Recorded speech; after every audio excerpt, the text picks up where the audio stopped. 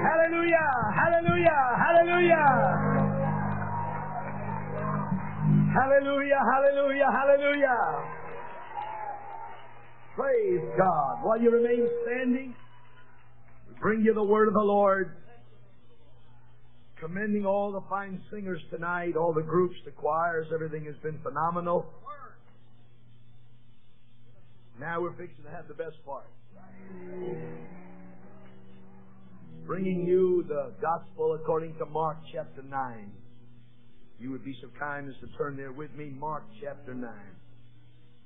I'd like to thank the good Lord for leading my friend, Brother Billy Cole, and using him so awesomely this morning, not only to minister in the Holy Ghost, but to minister to my mind, to my inner man, to help me to know that I am doing what I'm supposed to be doing.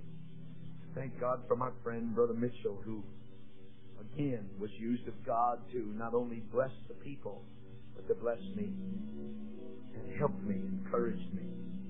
Praise God. Praise God. Mark chapter 9, beginning please with verse 17. One of the multitude answered and said, Master, I brought unto thee my son, which hath a dumb spirit. Wheresoever he taketh him, he teareth him, and he foameth and gnasheth with his teeth, and pineth away. I spake to thy disciples that they should cast him out, and they could not. He answered him and saith, O faithless generation. I'm going to be trying to be very, very short and brief tonight. I don't want to take advantage of you standing on your feet, but, but if I don't handle this now, I'll never get back to it. Said, I brought my kids to your disciples, and they couldn't do the job. And I was amazed when I looked at the Lord's response. He didn't chew out the failure disciples, he chewed out the dad.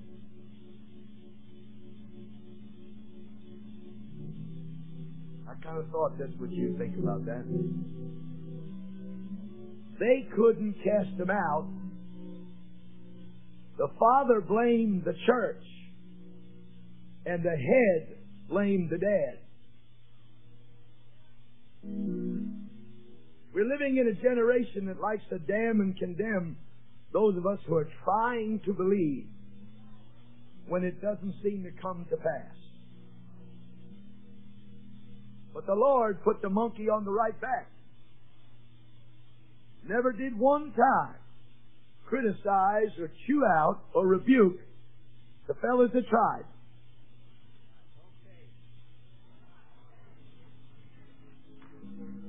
We got enough people sitting in the bleachers. Ain't but a couple of us in the arena. Them slobs that buy them two dollar tickets sure know how to tell us fighters how to punch.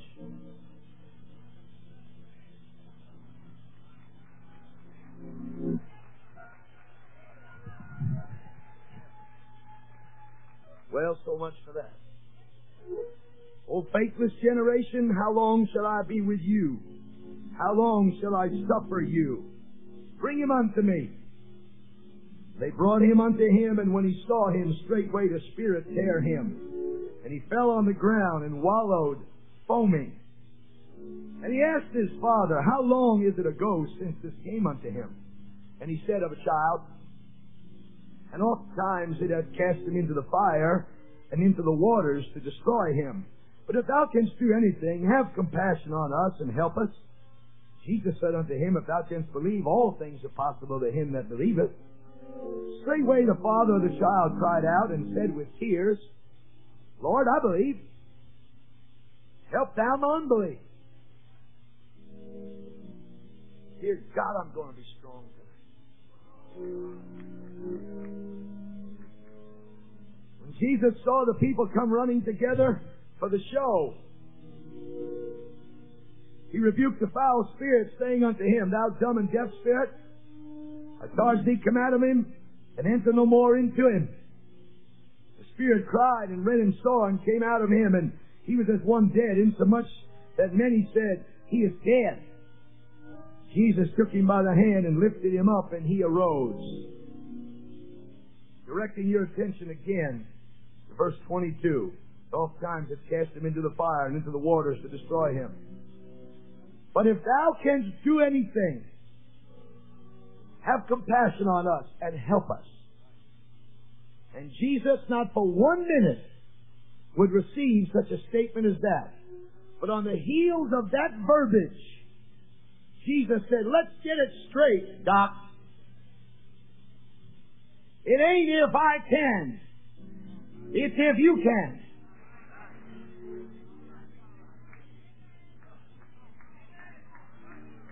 I'm going to preach for a little while tonight. My message is there's no if with God.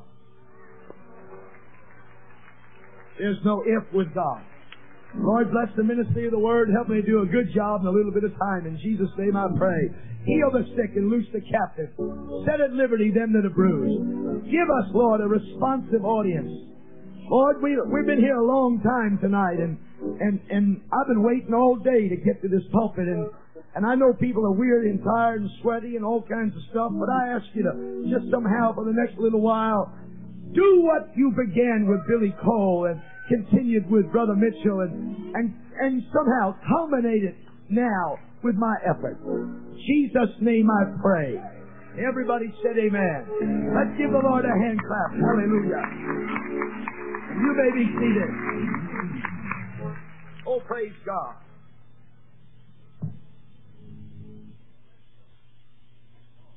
There is no if with God.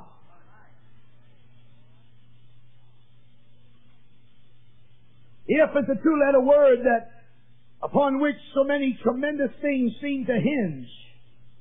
It's sort of a conditional word. You know, if you do this, I'll do that. If you do this, I'll do that. And for many years I was taught and told that the promises of God are conditional, but I am believing that that is erroneous. The promises of God are all yea and amen. The fulfillment and performance of the promise is conditional. But the promise is already settled.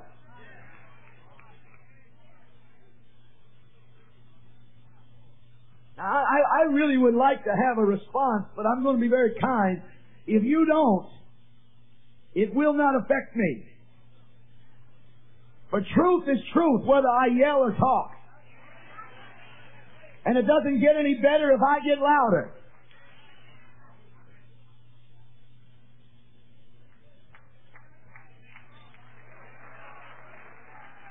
But I would like on the heels of that to tell you, you ought to respond. You ought not sit there like a bunch of mannequins and play church. I think you are under a scriptural admonition of God to be reactive and responsive to the ministry of the Word of God.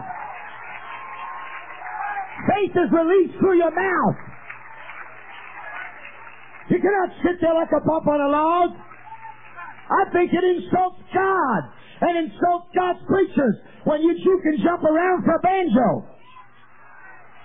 And then the preacher goes to talk and you kind of change the oil in your car. I think God'd like to change the oil in your soul.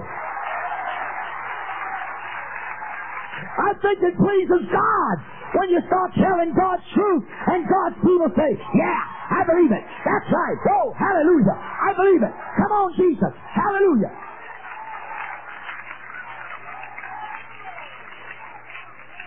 I, I don't believe, I don't believe when Jesus Christ stood up on the boat that day to put that storm to sleep, I don't believe he broke forth to the front of that boat and just kind of looked out and did like some of you do.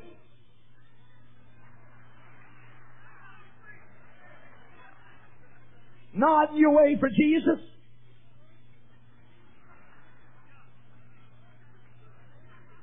I don't see Jesus facing the storm going, Jesus released his faith by opening his mouth. For with mouth confession is made unto salvation. I don't believe when that fellow was preaching with that guy sitting in Lystra, and he perceived, the Bible said Paul perceived that he had faith to be healed. I'd like to know some of you great theologians, how did he perceive that? Was the guy sitting on the floor going, Or was while Paul preaching about the miracle power of God and the glory of grace that that guy was sitting there going, hey, I believe that. Whoa, I like that. Yes, sir, I, I, I think that could work for me. And Paul picked up on it. He watched them react, turned around and said, ah, the Lord Jesus makes you whole. And he got up. Because you cannot perceive faith that does not respond and does not react. You must open your mouth. You must get involved. You cannot sit quietly. We are talking about the King. We are talking about the Lord. He's got the problem. He's got the power. Open your mouth.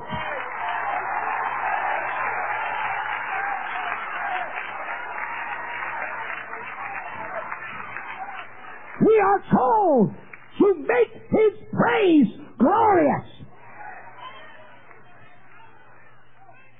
Make His praise to be heard. All you dudes that don't like emotion, five seconds in hell, you'll see how quiet you are.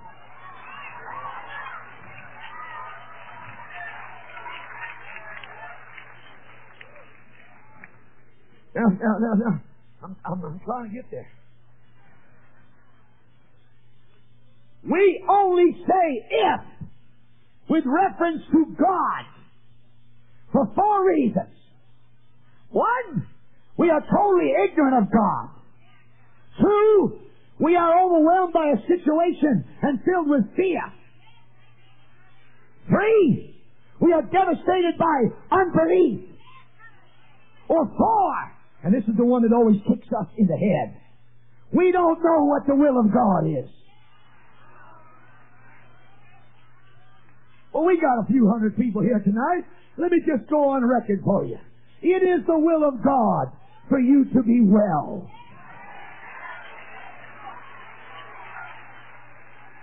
And you that didn't say anything, you believe it because you go to the doctor.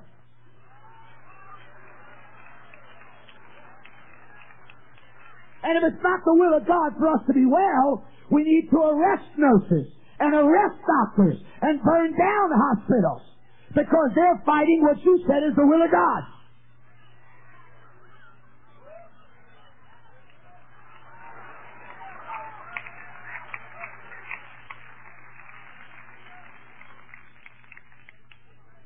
Oh boy.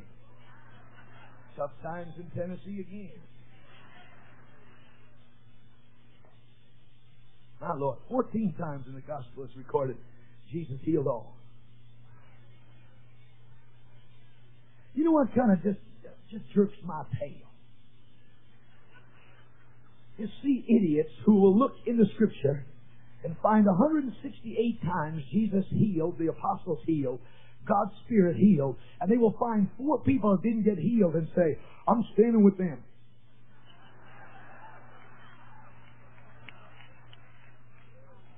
That's the same stupid philosophy that says, well, 75,000 people got the Holy Ghost, and my aunt and my grandma Tilly, she didn't get it. I'm staying with grandma.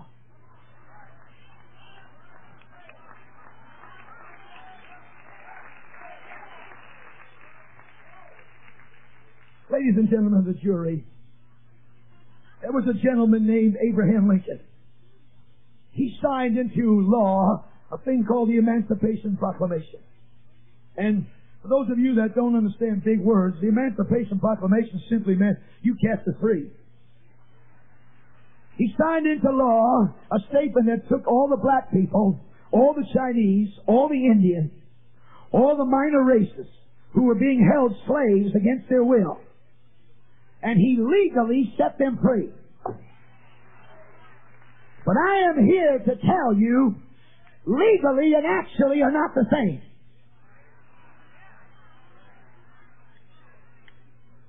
And at Calvary, two wonderful things took place. We were set free to be healed, and we were set free to be saved.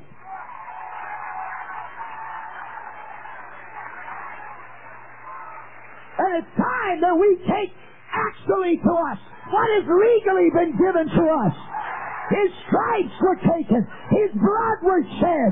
The victory of his sacrifice. He has justified our faith. Oh, God. Oh, God. Stick with me just a minute. Can you see the slave on the plantation? He's been there all his life. He's legally free. The only reason he stays on the plantation is he don't know. Listen to what I'm trying to tell you. Knowledge is power. You cannot release faith without knowledge. You can only release hope. What makes a doctor such a smart man? He knows more than you. Your Aunt Tilly's laying in the hospital. Everybody's eating their fingernails to the elbow. He walks in. Well, Doc, what do you say? What's this? Now he's as dumb as you. He says, Ah, we don't know. What, what, what do you mean you don't know? Watch what he's going to tell you? We're waiting for the lab report. Oh, you mean once you get that knowledge, that will give you power of prognosis and diagnosis and recovery. So the knowledge is what will set you free to take corrective action. My people are destroyed for the lack of knowledge. We got the goosebumps. We got the music. We got the standards. We got the rules. We got the regulations. How about some knowledge? You know how I got the Holy Ghost? Somebody told me. I didn't know you could get the Holy Ghost. I used to be a Catholic. Then I was a Presbyterian. Then I was a Southern Baptist. I didn't know you could have the Holy Ghost. Then I came among you holy rollers and you showed it to me. And what was legally mine actually became mine when I released my faith.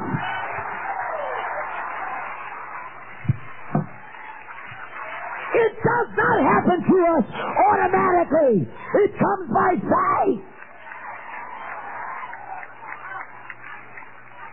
Oh, stick, with me just a second. So here's this guy, Bishop Kenny. Old Black Joe from Kokomo is on the plantation. He don't know he's been free. So here comes a guy walking up with a letter.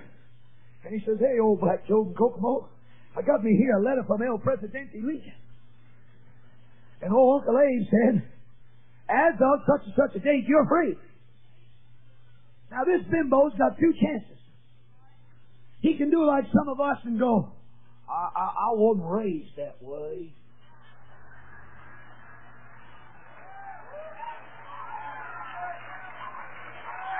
He can say, when he looks at the proclamation and sees the signature and whose name it is, is it really Abe Lincoln? He's the head knocker. He said all the slaves are free. Give me that piece of paper. I'm gone.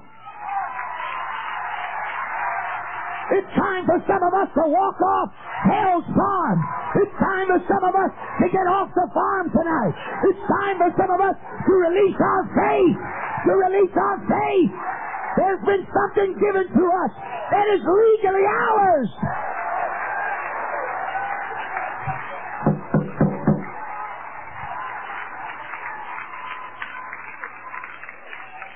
Please be seated. Now please don't misread me. Don't misquote me. Don't misread me. Don't misconstrue me. I'm not, I'm not trying to be unkind. You have to understand something. I've searched for God since I was a little boy in Brooklyn. I went to every religious movie there was. Now I know you laugh about the movies, but, but I went. I stood four hours on Myrtle Avenue in Brooklyn to watch Charlton Heston in the Ten Commandments with Cecil B. DeMille and watched it. It was a four hour film. I stayed through it twice with tears running down my face as a 12 year old boy. I watched all the films they gave because I wanted to be a Christian. And all I found was takers. All I found was, was pretentious people. All I found was people who read scripture and they said this is legally ours, but it never was actually operative in their life. This is a divine meeting, this camp meeting. God is trying to bring us to an apex of our apostolic faith so that what has actually been given to us legally can now be given to us experimentally.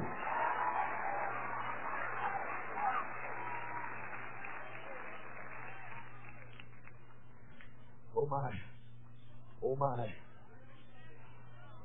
I'm here to tell you. You ready to read, Brother Anthony? Where is you? I'm going to tell you something. I don't mean to be offensive. I know it comes natural with me. But if you say tonight, if you can, you are an idiot. If I get finished with this in the next 30 minutes and you have the audacity to walk out of here with your little stupid problem and say, if you can, you are a bimbo. We measure God by our own stupidity, simplicity, and failure. We need to change glasses.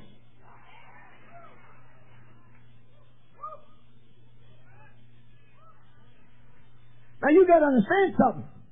This guy's got a demon possessed kid. That kid's been raising Cain in their home and breaking the old man's heart. And he's gone to this little uh, embryo stage disciple and say, hey, heard you pets can do tricks. We need a trick. Get the devil out of my kid. And they're there, in the name of Jesus, we command, aye. And giving him chiropractic adjustments and spitting all over him and. And the devil just sitting inside that kid going, nope, no, no. And it's so easy for us to damn and condemn somebody who has actually tried to do something for God and it didn't work.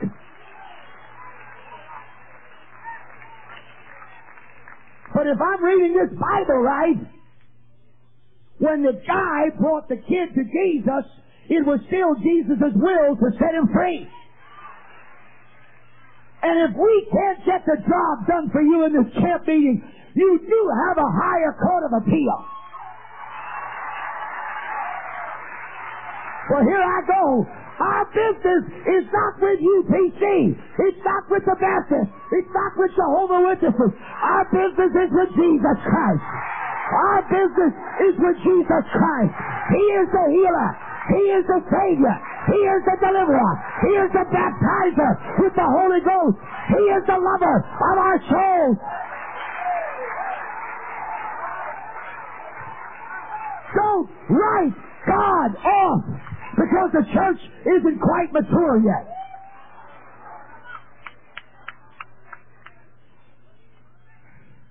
Now just stay with me. Anthony, wait a minute, wait a minute, wait a minute, wait a minute, wait a minute. I'm changing in the middle of the street. I want to go to Mark 9. I got to handle this while I'm here because I may not get back. I want Mark 9, if you don't mind, verse 21. Let's, let's handle this first, and then I'll get to my sermon. 9 and what? 9 and 21. And he asked his father, How long is it ago since this came unto him? Now listen, Jesus is God incarnate. He don't need to ask questions. When Jesus Christ asks a question, you need to find the real reason for the question. It is not obvious. You have to search for it. When he said, hey, mister, how long's this stuff been bugging your kid? That's right, he knew. But the crowd didn't know. And so he wants Dad to testify in the mic. How long? Now you hear I'm fixing to come on like hot fire. He said, how long's it been? He said, of a child. But when I read that scripture, the Holy Ghost went, boom! Tell the people in Louisiana that it doesn't matter if they've been suffering from something since they were a little child. I can go back in their childhood and I can erase their fear and I can erase their injury and I can heal their scars. It does not matter if you have been this way since you were born. There is a king in this house who is able to take care of problems that were on you since you were a child.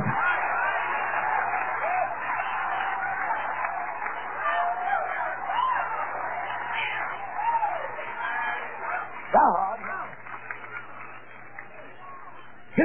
Oh, God help us. Read for me, Rev. And oftentimes it has cast him into the fire and into the water to destroy him. Stop. Point number two. Revelation. Jesus said, Would you run that by me again? He said, The devil has taken the two most powerful forces in the world, water and fire, and tried to destroy him. And Jesus looked at that and said, Hmm, I'll fix him. I'll take those two forces and I'll deliver the world.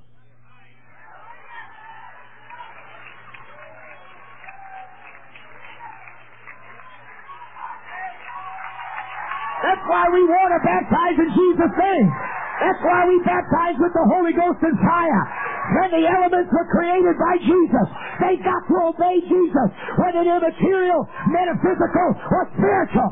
He is the creator. He is the sustainer. He baptizes with the Holy Ghost and fire. What the devil cannot do, Jesus Christ can do. The devil was trying to use those two elements to destroy. God is life. He uses those elements to give life.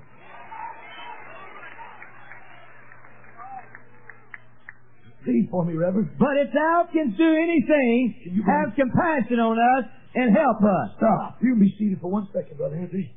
Now, I think that's a statement made out of ignorance, not out of unbelief. Out of ignorance. Can you imagine a person standing, looking at God incarnate, and saying, uh, if, if, if you can do anything to help us? Everybody close your eyes and say, what? Everybody close your eyes and say, you said what?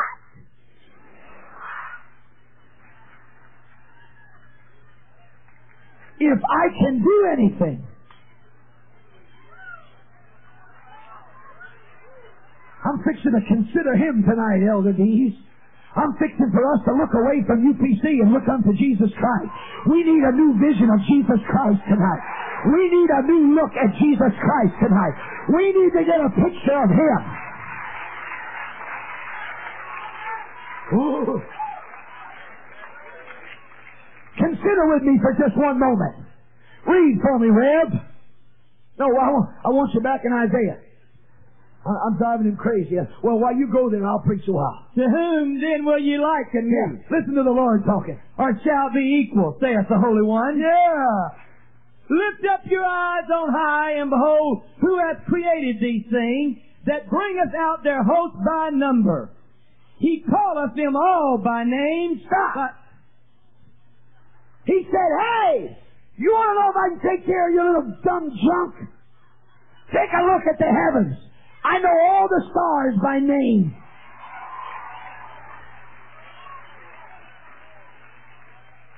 Honey, did you hear me? They're innumerable to us. Yet God says, Hi, Charlie, Bill, Myrtle, and Bertha. He got all names on them stars. You think he knows your name? You don't think he knows where you live? You don't think he knows the hell you're going through? You don't think the sorrow you're going through? You don't think he knows the pain you're carrying?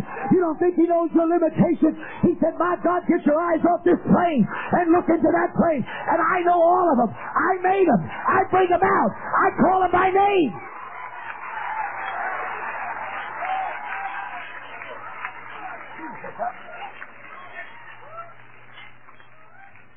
Stay with me now. I'm going to get to my message here in a minute.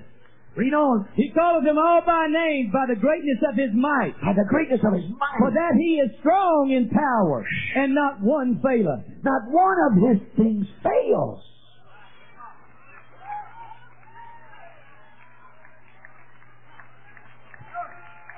Well, I'm going to nail it, boy. Hey, some of you cats, the devil beat your brains out because sometimes you fail. Let me give you a little something for free. You may fail, but you ain't a failure.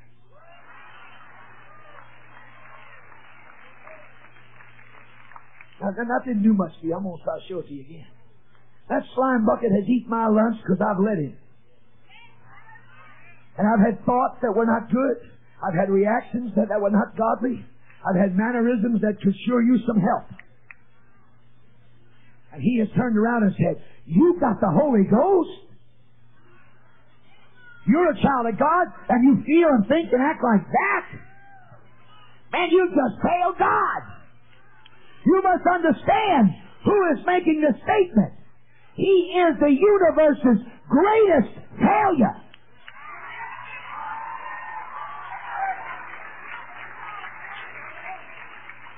Hear me now. This bum is so ignorant. He failed God when there wasn't a devil.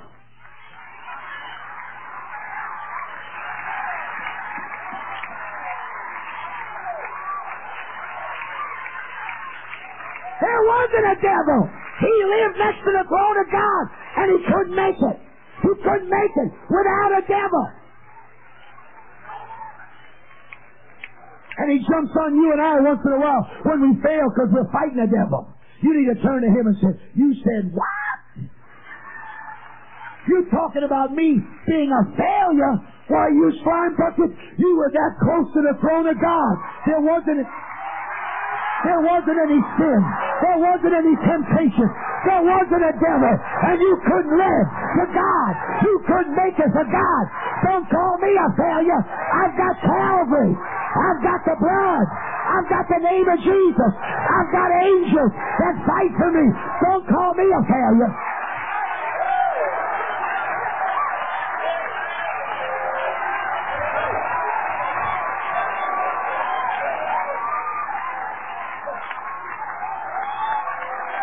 If we sin, we have an advocate with the Father, Jesus Christ the righteous, and His blood, and His blood, and His blood cleanses and forgives.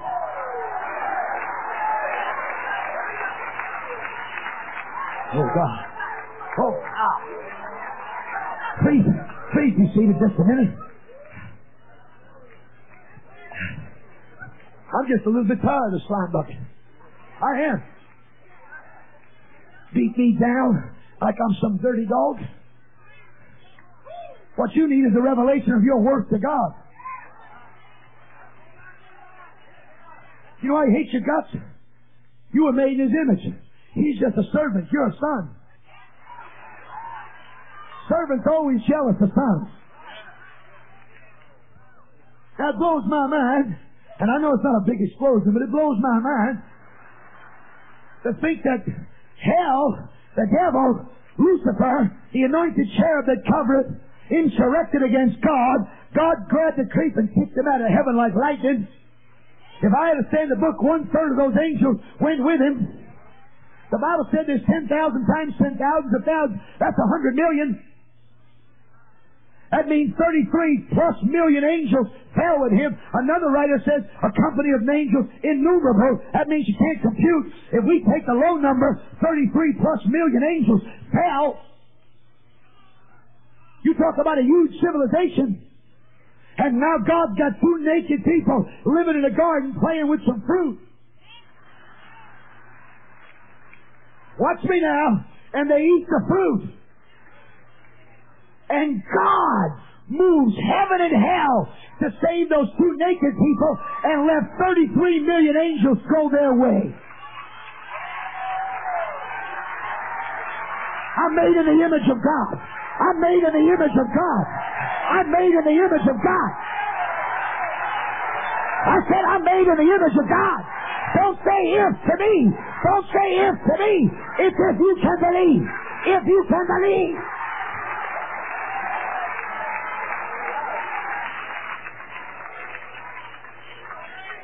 Ah, pardon me, go ahead. You sit down a minute. Now I'm leaving the Bible and going to the land of imagination. I am. I am. Let me preach. What's this?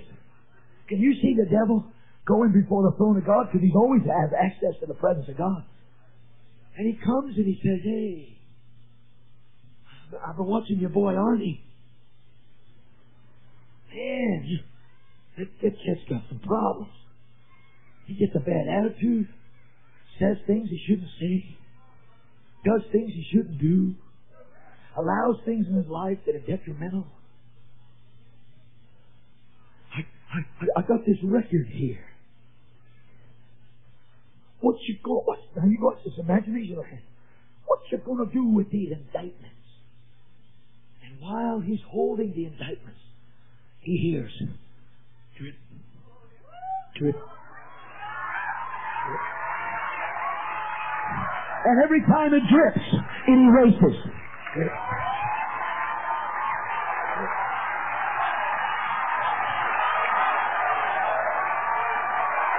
Honey, you talk about erasing the Watergate tapes.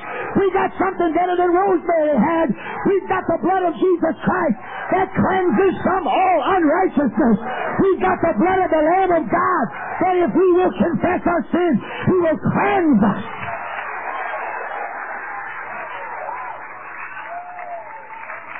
Oh, please, please be seated just for a minute. Can you see him, Brother Teddy? When the devil's standing there and says, Hey, how come Arnold does all these dumb things and you keep forgiving him? You went to Calvary, you shed your blood, you gave him promises, you give him protection, you give him provision, you give him angels to battle for him and to help him, you give him brethren to encourage him and strengthen him. And I committed one dumb sin, and you ain't never let me repent. I can see God in my imagination say, You ain't worth saving. Now, you didn't get what I just said. He looked at the, honey, God can make a lot of choir directors, but it's sons that are hard to come by.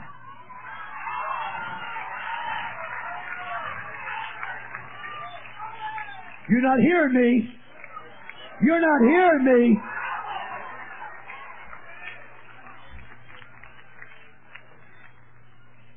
He never one time tried to redeem Lucifer. And he has spent all this thing he created called time trying to get me in the boat so I can go float. And when I do dumb things and the attitude gets kind of wacko, instead of God letting me just trip on my way into hell, he puts Calvary as a roadblock. And if I circumvent Calvary, he dispatches angels, Brother Mitchell. Yes, he does. He dispatches angels who are ministering spirits to somehow prod me and turn me back. And if that doesn't work, his prayers are still effective. He prayed for me in John 17. His prayers have never lost their power. And if that doesn't work, he lays me on somebody's heart and gives them a burden for me in the middle of the day or in the evening. And they call my name out before God. And God comes to my rescue.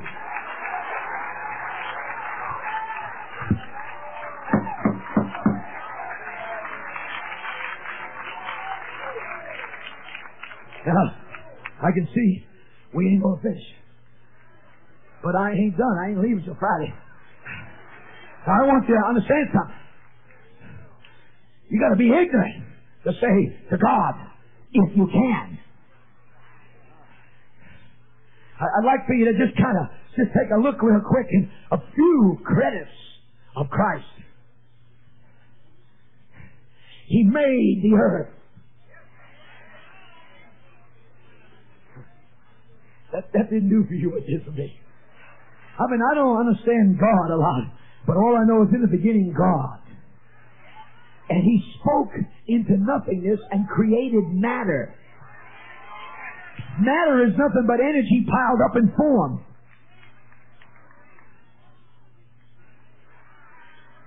Do You know what energy is? It's what flows out of the mouth of God. Because He is life. You know how it comes out of His mouth? As sound and light.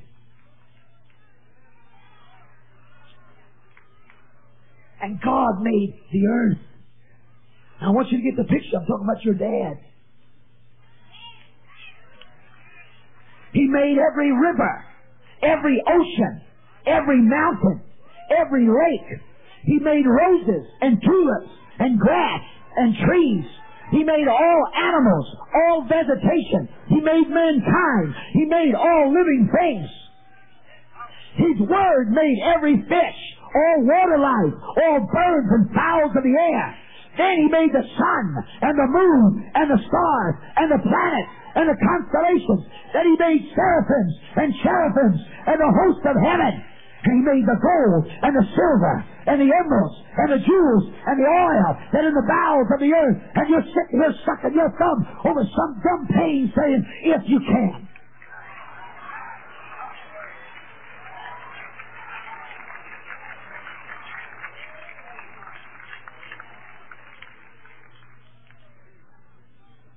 The one the psalmist said in 62 and 11, Power belongeth unto God.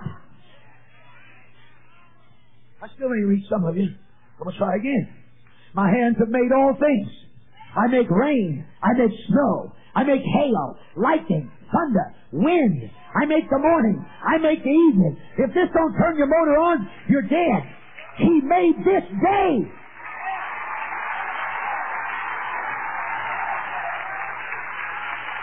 You got a God that can make a day. Why don't you let him make your day? Why don't you release your faith? Why don't you believe that God can do it?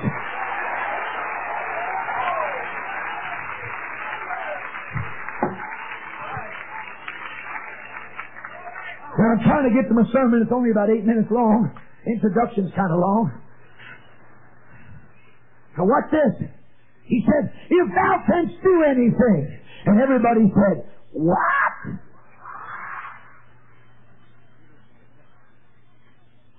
Just made the earth, stars, constellations, wind, all principles that keep nature in balance, all biological laws. He keeps all of it by His Word. If you walk up with some dumb scenario and say, if, if you could do anything,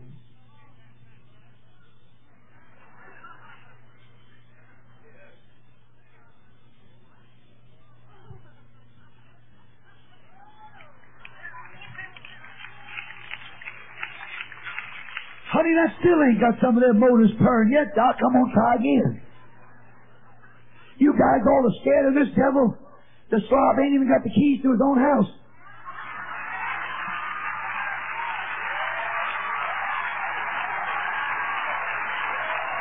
They bumped off our Lord Jesus Christ, but they couldn't keep him dead. And if they couldn't keep him dead, they ain't gonna keep you dead. Ain't no grave gonna hold this body down. When I hear the trumpet, I'm a coming up out of the ground. Cause you didn't keep the founder, and you're not gonna keep the fruit.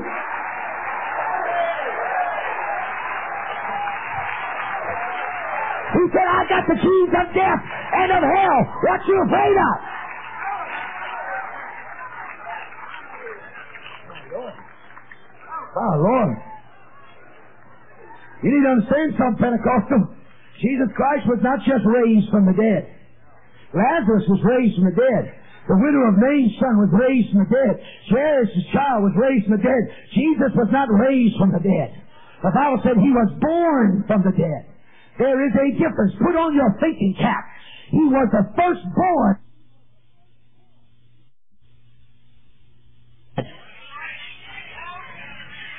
Why? That he might be the firstborn of many brethren. He is the first fruits of a total new civilization. You didn't hear me. He had to be born from the dead because we were dead in trespasses and sins. And through the gift of regeneration, the Holy Ghost, we are born from the dead.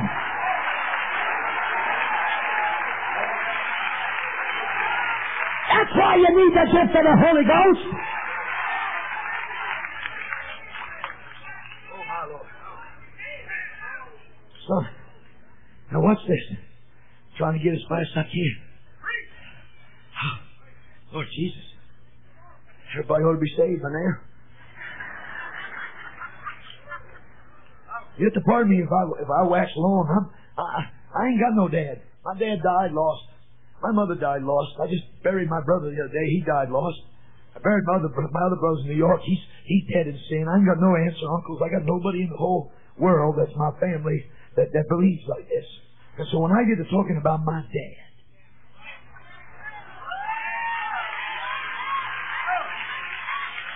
I mean, ain't nobody, Brother Barnes, had a dad like us. I'm talking about my spiritual father. I'm not being irreverent. I'm talking about Daddy Jesus. I mean the one that overcame the devil and the flesh and the world, who conquered death, hell, and the grave, who gave me the Holy Ghost, who brought me out of sin into his marvelous life, that I could show forth the praises of him who called me out of darkness. My friend, my chest is sticking out so far, I'm fixing to pop the buttons off my shirt. My dad is alive right now. He's got the whole world in his head. He's got the whirlwind in his head. He's got all power in heaven and earth. We do an insult to him when we say, if you can.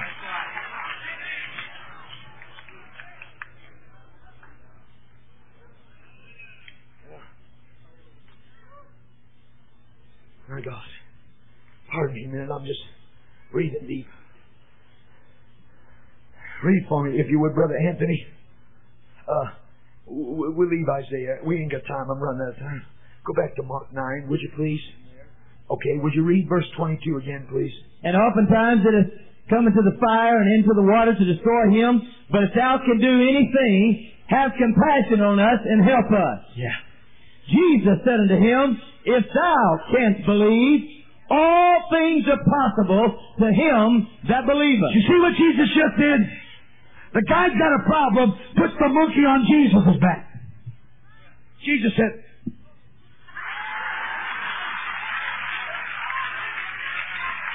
The power is not the problem.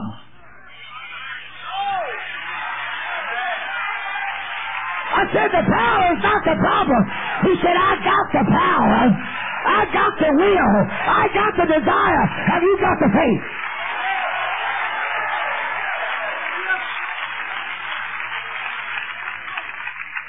And that's what we do. Well, if Brother Barnes will pray for me, if Brother Cole will pray for me, and I'm not being disrespectful. I admire you guys. You're your way out in the major leagues. I'm, I'm the bad boy for Babe Ruth around here. I know that. But my friend, if, if, if, if we could just have a move of God, if we could just have a great camp meeting, if we could just this, if we could just, uh, well, if we could just have a good Sunday night service, Oh man, if, if Brother Teddy would just preach a good sermon. Oh, if my pastor would just set the woods. Oh, cut it out, you little hypocrite. Why don't you just say, if I'll worship, if I'll get my attitude straight, if I'll give, if I'll supply my repentance towards God's altar, if I will have a correct spirit toward the things of God, the power's not the problem. The power's not the problem. It's can you believe?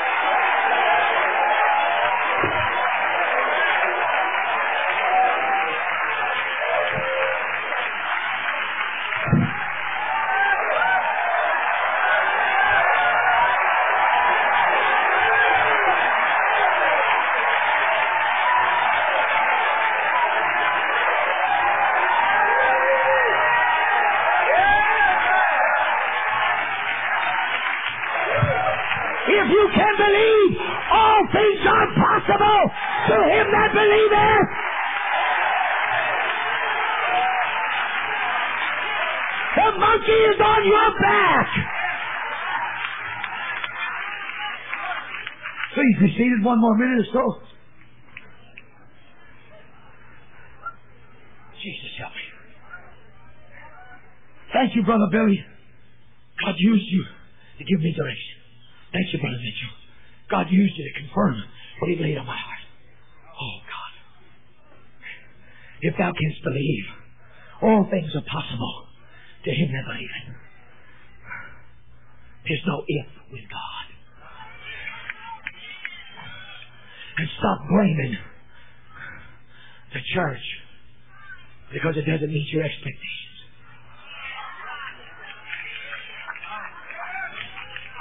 I, I don't mean to ruin a good message, but if your preacher can't preach, why don't you pray for him?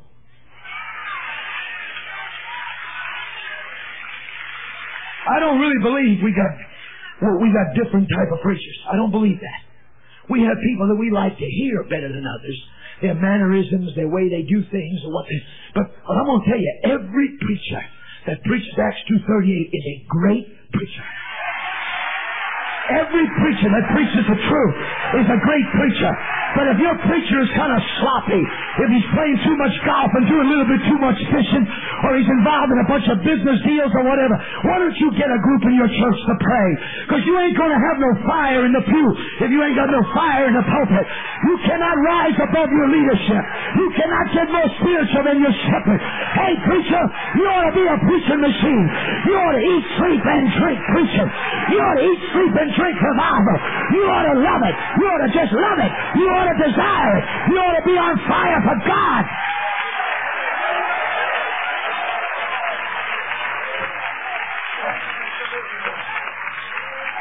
Oh, oh excuse me for, for a little intermission there. Sorry. My God, man. I don't know how some people stay safe sitting under them blase memorial patches. Stand up there and just. Let's have a, let's have a pity march now. And we'll sing. Yeah. Yeah!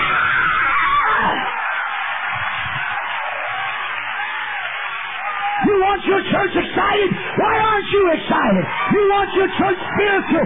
Why aren't you spiritual? You want your church to shout and talk in tongues and dance?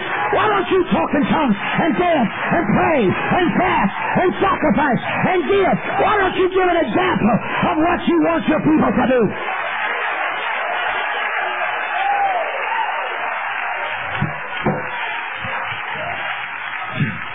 Excuse me. Uh, be seated, please. I don't want you to miss the sermon. Read on for me, Brother Anthony, please. Just another minute. And straightway the father of the child cried out and said with tears, Lord, I believe. Help thy mine unbelief. Now, I don't know whether I've heard the voice of God, Reverend, but I'm going to speak this way. I think I have. I don't know. It felt like God, but it, it, it might just be me. But I felt like the Lord wanted me to drill this point home now and say, it is the dishonesty among my people that blockades the miraculous.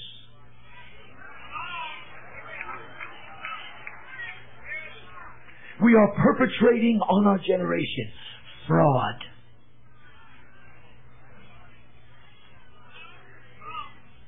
I admire this precious dad so much. He stands in the face of a dilemma. He's confused. He's got a failure from disciples in his in his record book. He's still got a demon possessed kid that's wallowing and spitting and slobbering, acting like an epileptic or something, acting like a crazy kid. His heart is breaking as a dad. And he stands in front of his answer. And you know how he got his miracle for his boy? He got. And he said, Lord Jesus, I'm not what I ought to be. There's things in me that I'm trying to believe, but there's unbelief in me. Hear what I'm telling you. Now, I'm telling you, I didn't know what I heard, but I said, I felt like it. Maybe it's just me. But the Lord said something to this guy that, that's kind of moved my spine up and down. And then when this guy answered back, it moved it the other way. This guy did not ask for faith. He asked for Jesus to help the area of his life that was negative. Now hear what I'm trying to tell this movement. And I'm part of this movement. I'm staying with this movement. I love this movement. And I think that the only people ought to deal with the movement is movement people. We're family. And the Lord is showing here, hey, I'm wanting to do a miracle. But my people are not handling the unbelief. But this man says, Lord, I believe, and watch his honesty. Help my unbelief.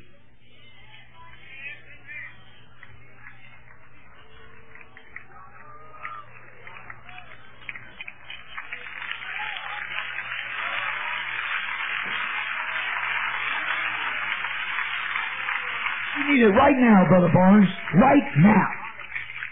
That's exactly right. I talk in tongues, I shout, I bang into walls, I run the aisles as much as anybody. But my greatest depth and my greatest blessings from God come when the Holy Spirit arrests me. He says, Jeffrey, got a little malfunction here in this area. You hear this? And I'm reaching for gifts and power and anointing and revelation and inspiration and direction and the Holy Spirit says, nope, nope, nope, nope, nope, nope, nope. This area needs your immediate attention.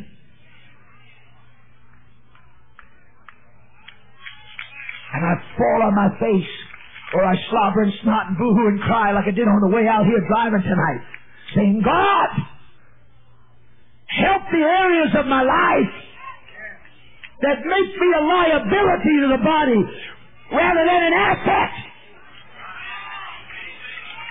I do not want to be pretentious. I do not want to be plastic.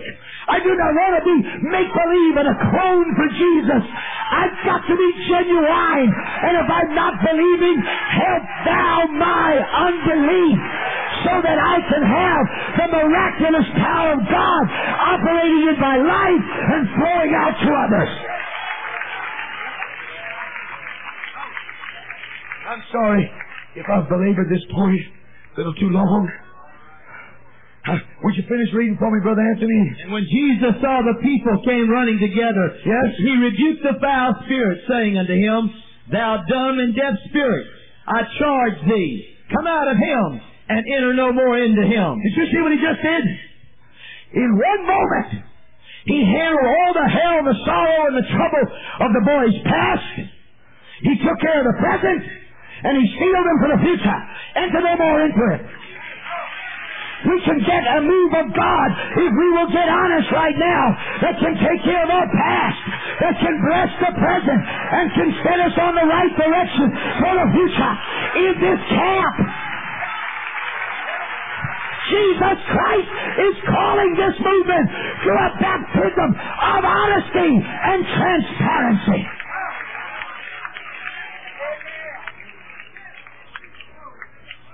Oh God. Finish reading for me, Doc. And the Spirit cried. I like that. All that life of that boy, that Spirit was making the boy cry. One moment with Jesus and now the Spirit's crying. We don't want no more with you, Jesus. I'm going anywhere you send me, where you want me to go. The Spirit cried, go ahead, and rent him sore, and came out of him. And he was as one dead, insomuch that many said, He is dead. I'm almost finished. Hear me. I'm not afraid of anybody. Hear me. Every time God tries to raise up people among us to function in the supernatural, when there's something that takes place, there's always a band of loudmouth critics who misread it.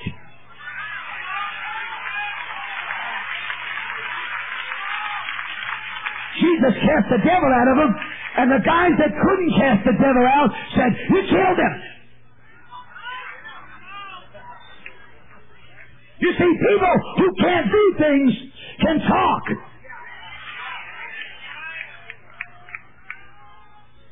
They said, He's dead. I like what Jesus said. No, he ain't.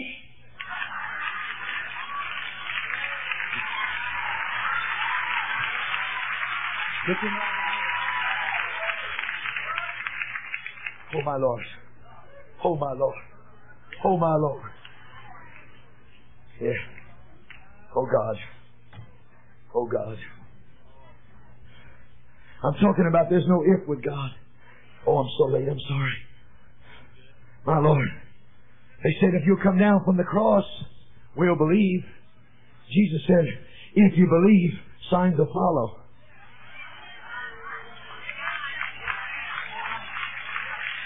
Jesus said if the man had watched, he wouldn't have lost the burglarizing of his house.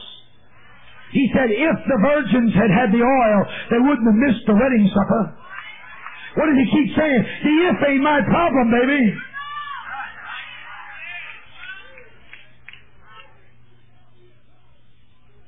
If thou be the Christ, give us a sign.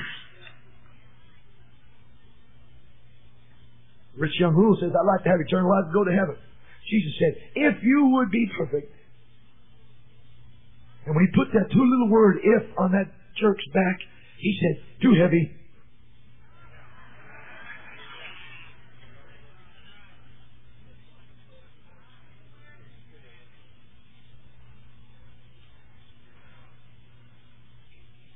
I want to try one more and I'm going to quit.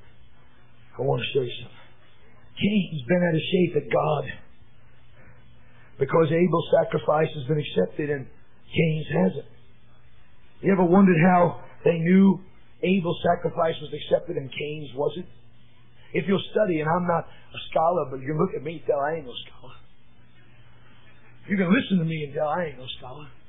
But I do think, and I do read, and the scripture says that the Lord had respect unto Abel's sacrifice. And you'll find it written in David's psalm where he cries out to God in prayer and says, O Lord, have respect unto Israel's offerings before thee. And I got to looking up that word, respect. And here's what it says. This is a Hebrew word that means turn to ashes. How did they know that Abel's sacrifice was accepted? Fire fell. And there's Cain's vegetables and his tomatoes and his scallions and peas and carrots and all he's got there. No fire. He's been out of shape with God. And you know what God says to him?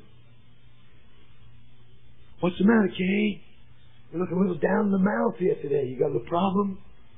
Why is your countenance dropped? What, what's the malfunction in your mind, boy? What, what's your What's your problem? Watch what God says. If thou doest well, wilt that not be accepted? And he said, the offering's right over there. We've always used that scripture and said, well, sin lieth at the door. You need to really read your Bible, folks, and preach the right thing. We've used that evangelistically and say, sin's lying at the door. That, that's not what that means. The original Hebrew says the sin offering is at the gate. What the Lord told him was this. Hey, why don't you trade in some of your vegetables and get one of them lambs over there in that sheepfold? There's a sin offering right there. And if you'll do right, I'll let it turn to fire. Oh boy, I've lost this audience. I want to try one last thing and I'm going to go home. Anthony, would you read for me, Brother Anthony, excuse me, would you read for me John 11 and verse 21? Then said Martha unto Jesus, Yeah? Lord, if thou hadst been here, my brother had not died. We got this monkey syndrome again. Martha, Brother Stephen, blamed Jesus for her dumb brother kicking the bucket. She didn't have the decency to blame death. She blamed Jesus. If you had been here, my brother's dead because you didn't show up. If you had been here, this garbage wouldn't have happened. God's always getting the monkey deal. Read for me. But I know that even now, whatsoever thou wilt ask of God, God will give it thee. Yeah. Jesus saith unto her, Thy brother shall rise again. Yeah. And Martha said unto him, I know that he shall rise again in the resurrection at the last day. But Jesus said unto her, I am the resurrection and the life. He that believeth in me, though he were dead, yet shall he live. Read. And whosoever liveth and believeth Shall never perish. shall never believe shall never die. Jesus said, Take you away the stone. What's this? Is that where you wanted to go? That's where I want to go. Oh, boy, I tell. Martha, the sister of him that was dead, saith unto him, Lord, by this time he speaketh, for he hath been dead for four days. Watch this. Jesus said to her, Said I not unto thee that if thou stop, you said to me, if I'd been here, he hadn't kicked the bucket. Now I say to you, if thou believes,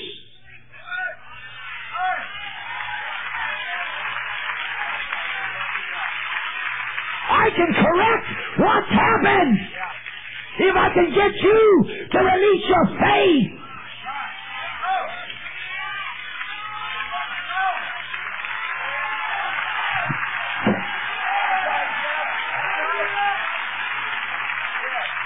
Would you stand with me now?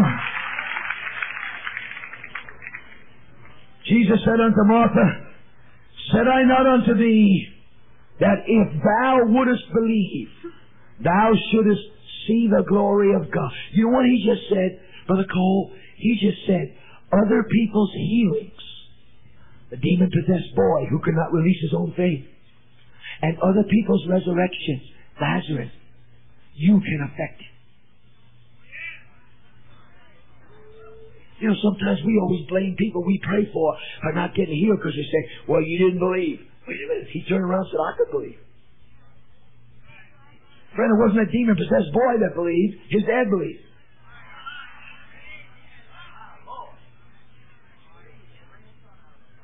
You believe that?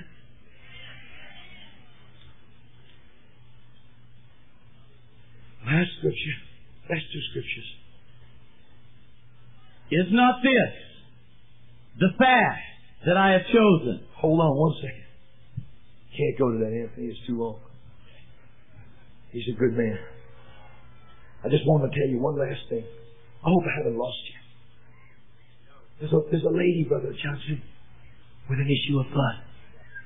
She's moving through the crowd. You know what her miracle is contingent upon?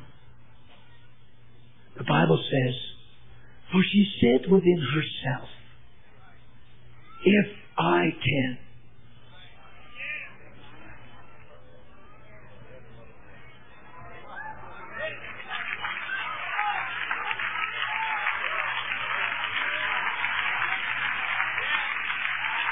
If I can but touch the hem of his garment, I shall be made whole. Could it be the reason why she was so low? She was carrying that monkey in.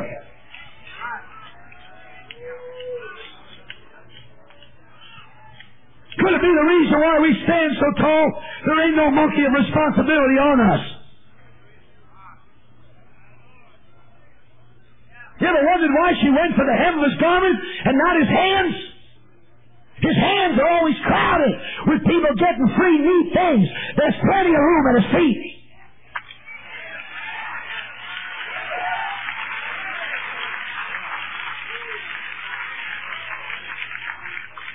The book of Job in 41 chapters lists 300 questions asked. 300 questions. And when God shows up and talks to Job out of a whirlwind and says, Job, you got a question for me? Job says, no. For the presence of God gave him illumination, and he says, I know thou canst do everything. I'm the problem. And Jesus Christ tells us in Revelation 3 and verse 20, Behold, I stand at the door and knock. If any man did not say, if any man hear the knock. No! If any man hear my voice, there's a difference. We are in a generation, we better recognize who's knocking at our door.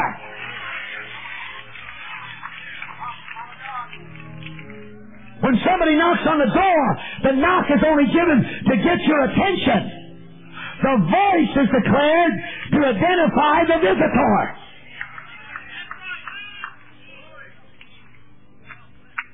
Could it be that the Holy Spirit of God in this whole camp is a knocking on our door? And some of us haven't opened because we don't recognize the voice.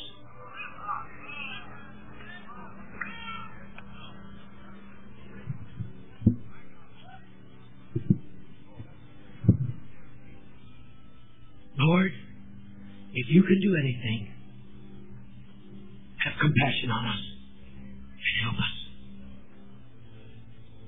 Sir, if you can believe, all things are possible to him that believes. I believe. Help my unbelief. Right now, I know it's late. Right now, still believe this day started out with a kiss of anticipated miracles. And that there is such a power in the auditorium.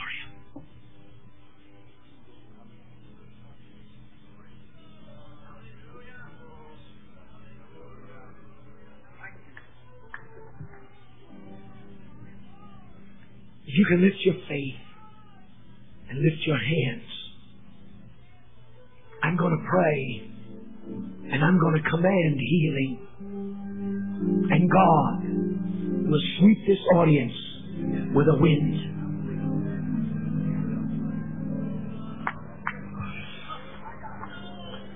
In the name of Jesus Christ, the authority of the word of the Lord, I command healing from the throne of grace to the people in this auditorium. From the top of their heads to the soles of their feet. Supernatural, ha, divine energy of the Holy Ghost to move, to take every pain, to take every encumbrance, to cast every doubt and fear away. Be healed. Be healed. Receive your healing. Jesus said, if you believe, you will receive. Receive it now. Receive it now. Vocalize your faith. Begin to praise and thank Him. Hallelujah. Hallelujah.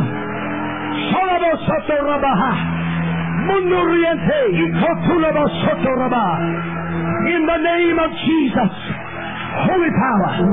Divine energy. Life. Every part of your body. Every gift of your spirit.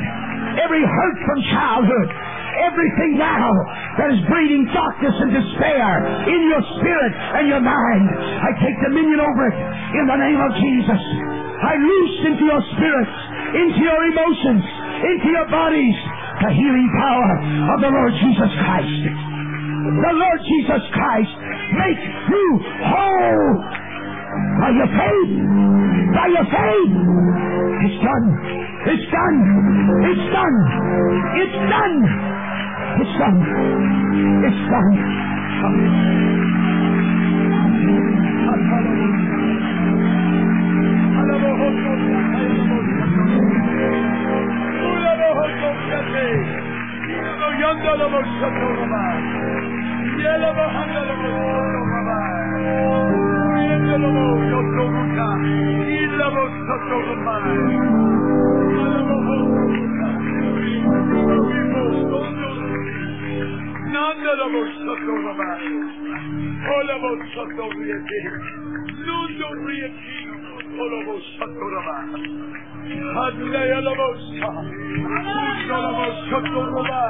Hallelujah.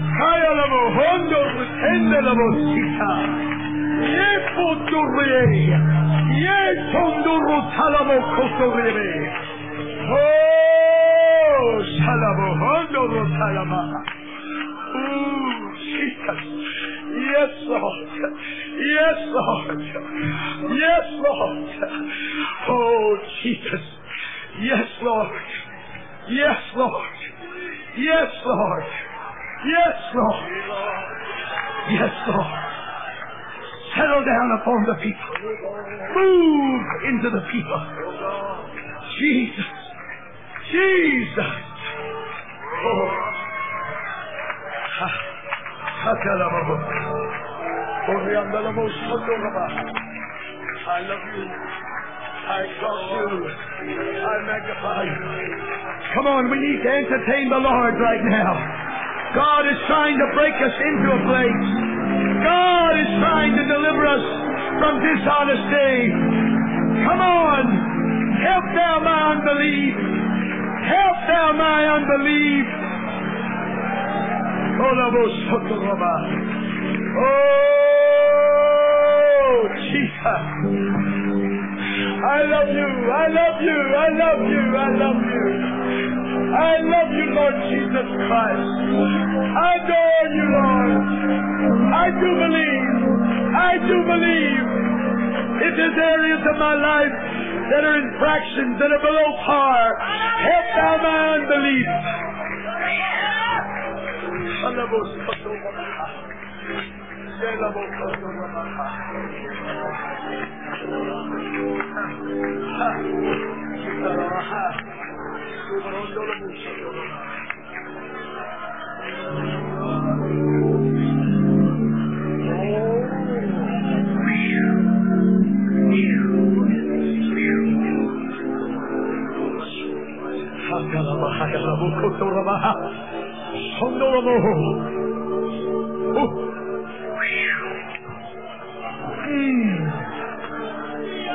Sokalamaha. He comes over in there. Sandori etelamoha. Gunduru talamo satarabaha. His power to heal everything in the house. Flow, Holy Ghost. Flow, Holy Ghost.